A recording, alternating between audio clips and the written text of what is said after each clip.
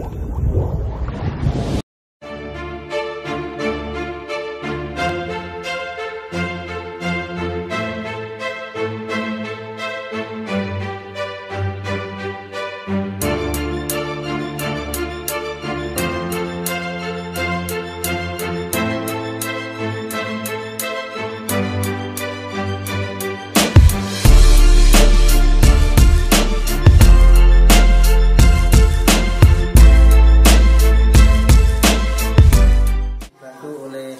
Para wali murid, bapak ibu guru dan komite. Alhamdulillah semua pihak guyup rukun bekerja sama kompak gotong royong membersihkan ruang kelas yang terkena banjir yang terjadi pada kemarin malam.